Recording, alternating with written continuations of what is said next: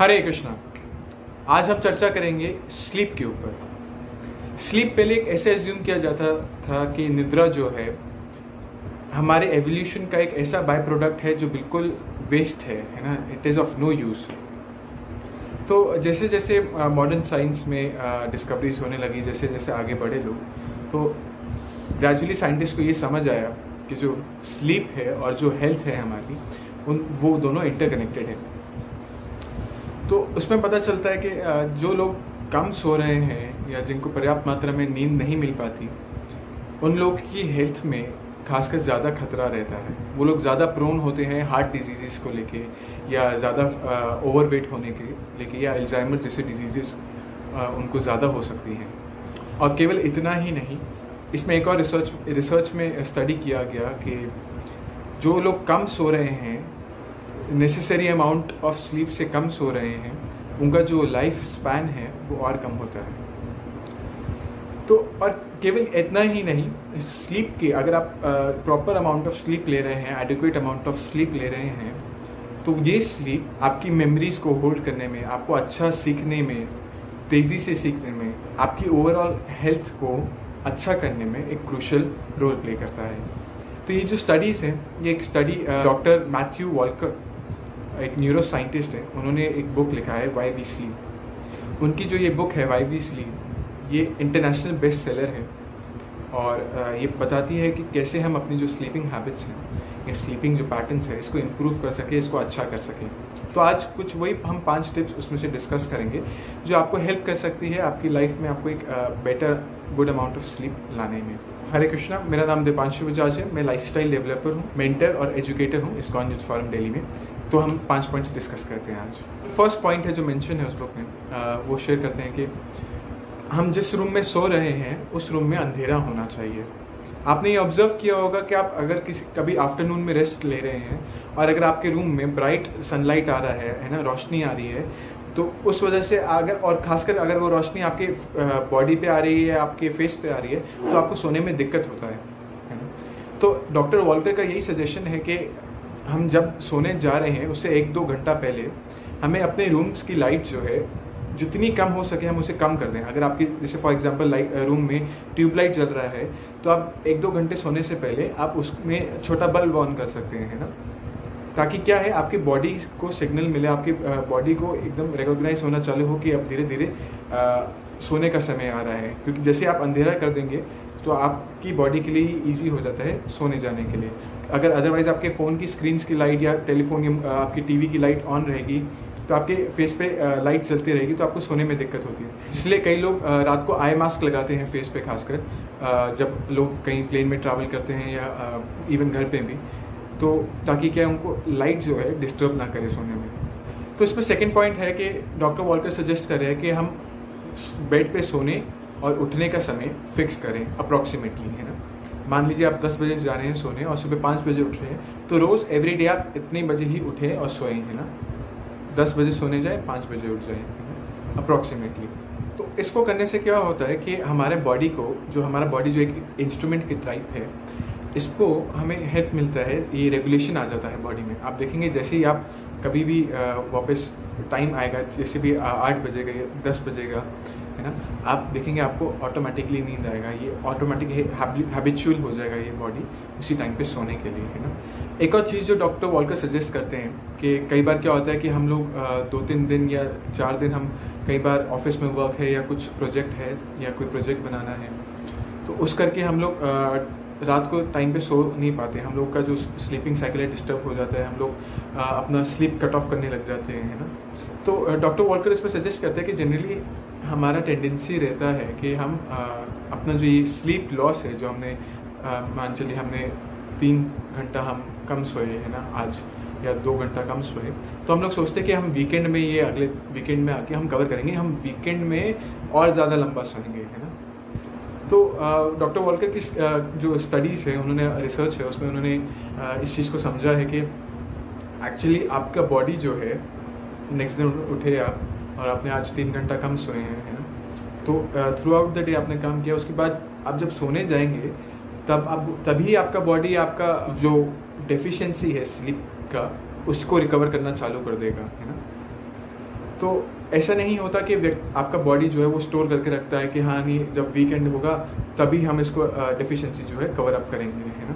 तो it is not like investment जैसे हम लोग करते हैं कि जब स्टॉक मार्केट में स्टॉक्स uh, ऊपर जाने लगेंगे तब मैं अपने लॉसेज जो है कवर अप करूँगा है ना? It is not like that जो तीसरा पॉइंट है डॉक्टर वॉलकर का सजेशन है उनकी रिसर्च से कि हमारा जो रूम टेम्परेचर भी है उसको हमें ठंडा रखना चाहिए है ना? ठंडा क्यों? क्योंकि जो अगर आप अपना रूम टेम्परेचर ठंडा रखेंगे तो आपकी बॉडी के को सिग्नल भेजता है कि now it is time for you to sleep क्योंकि जैसे आप देखेंगे कि गर्मी के मौसम में या जब एकदम गर्मी रहती है, तब सोना आसान नहीं हो पाता, है ना? आप सो नहीं पाते बट इमीजिएटली जैसे रूम में ठंडा, ठंडापन आता है है ना? रूम ठंडा होने लगता है तो आपको नींद भी जल्दी आने लगती है। तो डॉक्टर वॉलकर का सजेशन है कि हमारा जो रूम टेम्परेचर होना चाहिए हमें लगता है कि बीस बाईस डिग्री तक होना चाहिए, ठंडा है काफ़ी। बट उनका सजेशन है एक्चुअली उससे ज़्यादा ठंडा होना चाहिए जितना आप सोच रहे हैं। As per him your room temperature should be around eighteen degree Celsius तो इतना रिक्वायरमेंट है ताकि आप जो है, आपका बॉडी जो है ईजिली सो सके, है ना? आप सोने जा सकें। आप देखेंगे कि जब आप ए सी चला के रखते हैं तो आप जल्दी सो भी पाते हैं और आपने कई बार ऑब्ज़र्व किया होगा, उसकी वजह से कहीं लंबा भी सो जाते हैं, है ना? तो आप मे बी इसमें टाइमर लगा सकते हैं, है ना, कि चार घंटे बाद आपका एसी ऑफ़ हो जाए, है ना, ताकि आपका बॉडी जो है, क्योंकि जैसे आप देखेंगे रात को एटमोसफेयर में जो टेम्परेचर होता है, वो ठंडा रहता है और धीरे धीरे जैसे जैसे सुबह सनराइज आता है तो वो हमारा टेम्परेचर जो है जो हमारा सराउंडिंग का टेम्परेचर है, वो ऑब्वियसली राइज करने लग जाता है। तो इसी के साथ हमारा बॉडी भी सिंक है है ना तो जैसे ही आप तो आप ये यूज़ कर सकते हैं कि आप एसी में टाइमर लगा सकते हैं कि इतने बजे तक चार घंटे, दो घंटा वो चले, है ना, ताकि रूम ठंडा रहे मेंटेन रहे। और जैसे जैसे आपका सुबह आता रहेगा तो रूम गर्म, आपका रूम और जो एटमोसफेयर हो वो ऑटोमेटिकली गर्म रहेगा, जो आपकी बॉडी को फिर गर्म करेगा और आपकी बॉडी जो सिग्नल जो है, आपको ब्रेन को भेजेगा, जिससे आपको उठने में सुबह आसानी होगी। तो जो फोर्थ पॉइंट है डॉक्टर वॉलकर की स्टडी के हिसाब से, वो ये है कि जब भी आप अगर आपको सोने में दिक्कत आ रही है मतलब अगर आप बेड पे सो रहे हैं और आपका बार बार नींद टूट जाता है या आपको बेड पे सोने पे अभी नींद नहीं आ रही तो उनका ये सजेशन है कि आप बेड पे लेट के फ़ोन या लैपटॉप से ये मत चलाइए, है ना? आप क्या करिए, आप अपने किसी दूसरे रूम में जाके, है ना, आपका जो कोई स्टडी रूम हो सकता है या बेड से हट के आप बेसिकली बेड से उतर के आप कहीं भी चेयर पे बैठ के आप पढ़िए, है ना? आप एक बुक पढ़िए या फिर आप चाहे तो मेडिटेशन भी कर सकते हैं। तो उन्होंने बताया मेडिटेशन और बुक पढ़ने से क्या होगा?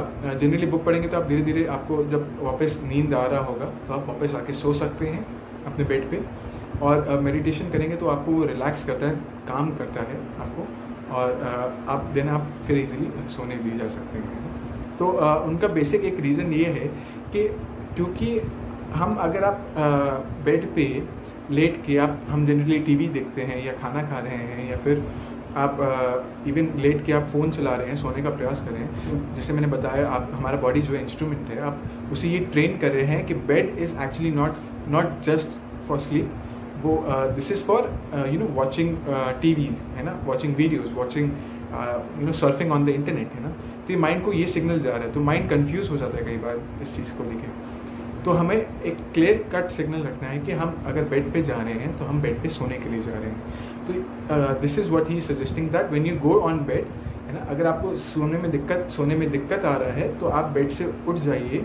आप जाइए किसी अपने चेयर पे बैठिए या फिर आप किसी स्टडी रूम है आपके पास तो स्टडी रूम में जाइए और बुक पढ़िए या फिर आप मेडिटेशन करिए। और जैसे आपको वापस सोने की फीलिंग आ रही है तो वापस आ जाइए आप अपने बेड पे और सो जाइए सुबह आके। फिफ्थ और जो लास्ट पॉइंट है डॉक्टर वॉलकर की स्टडीज़ के हिसाब से, उन्होंने जैसे ऑब्ज़र्व किया कि जो कैफ़ीन जो लोग लेते हैं, है ना और जो अल्कोहल कंजम्पशन करते हैं, इसका अवॉइड करना चाहिए, क्योंकि ये जो है आपके आपकी स्लीप को डिस्टर्ब करता है, आपके स्लीपिंग पैटर्न्स को डिस्टर्ब करता है।